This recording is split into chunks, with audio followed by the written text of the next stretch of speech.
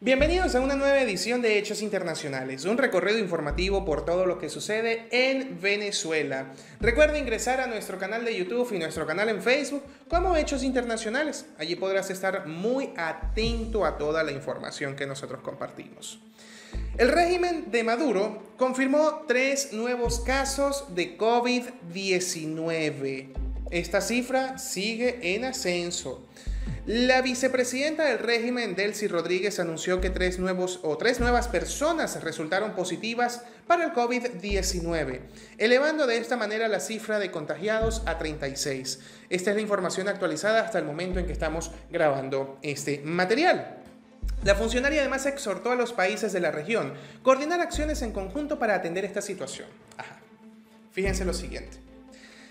Los países de la región ya tienen sus propios problemas está bien, vamos a pedirle apoyo, es verdad, pero ellos están ya resolviendo sus propios problemas como para que ahora nosotros, o mejor dicho, el régimen de Maduro, pida ayuda. Ay, sí, ahora sí, ayúdenme. ¿Por qué no tomaron las previsiones antes?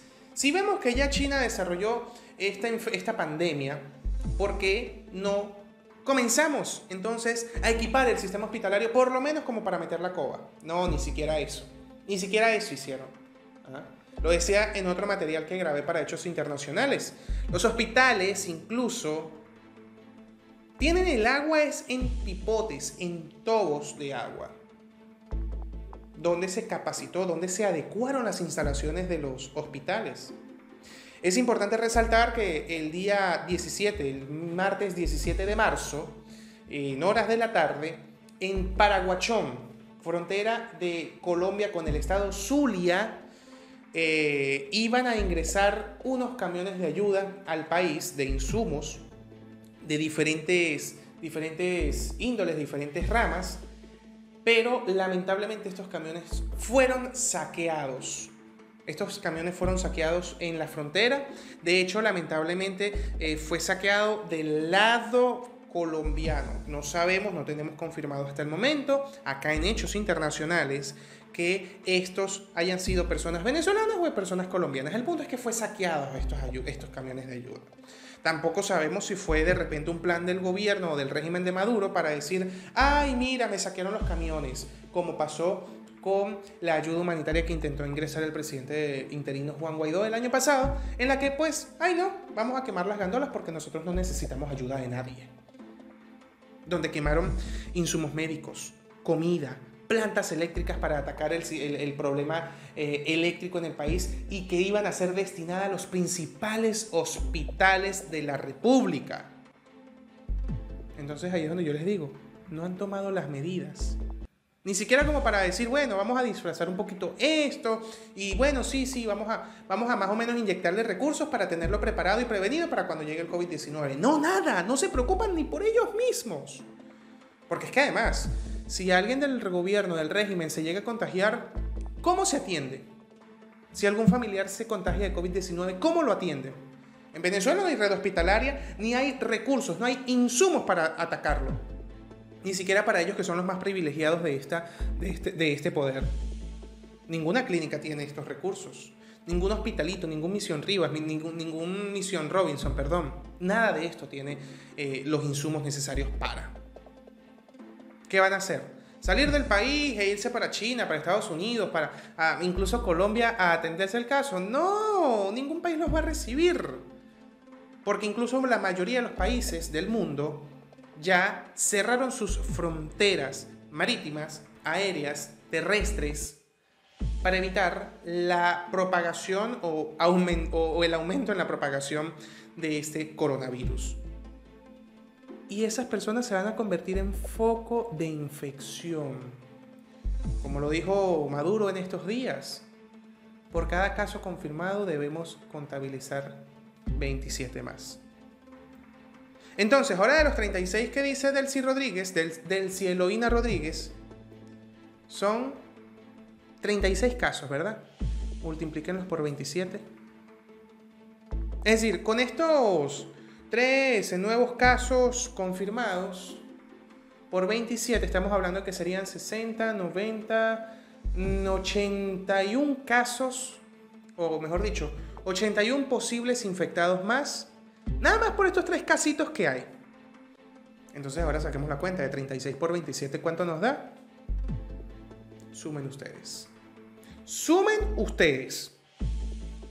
La cosa está crítica. Y ellos pues, ay no, mira, son tres nuevos casos. Colombia, por favor, ayúdanos.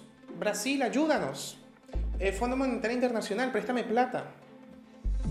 No, las medidas no se toman a última hora, y menos de la manera en cómo la están tomando. Pero además, en relación al caso de estas cuarentenas que se están haciendo en todos los países, Maduro ordena suspender todas las operaciones aéreas durante el mes. Bueno, si es durante el mes de marzo, a marzo le quedan 12 días nada más.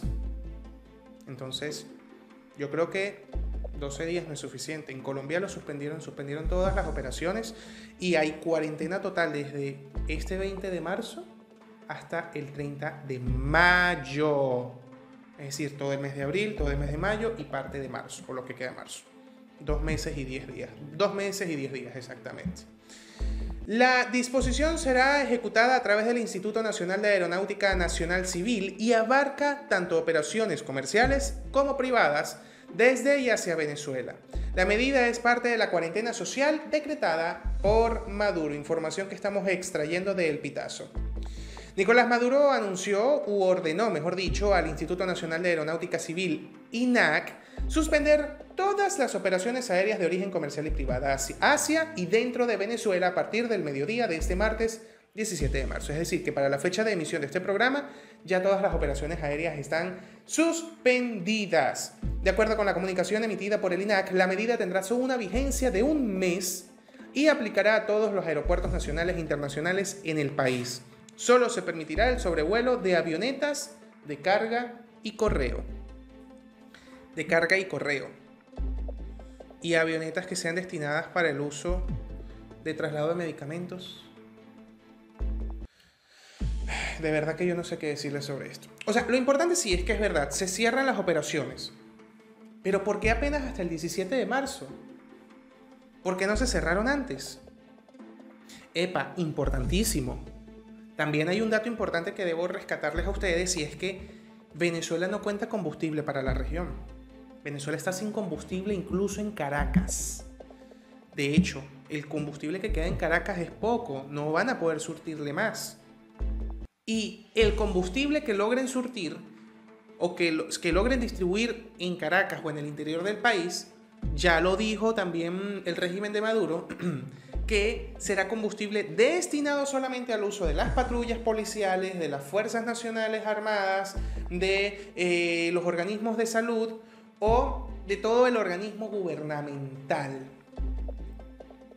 Cuidado con lo que va a pasar, porque ahí se puede prestar para malos entendidos también. Porque si solamente las personas que trabajan para el gobierno, los funcionarios del gobierno van a tener acceso al combustible se puede prestar o se puede prestar para la reventa, para el bachaqueo de combustible. Mucha atención con eso. Si eso llega a ocurrir, usted ciudadano, usted ciudadana que nos está viendo a través de la pantalla de Hechos Internacionales, no compre combustible revendido. No, señor. No alimente esa corrupción.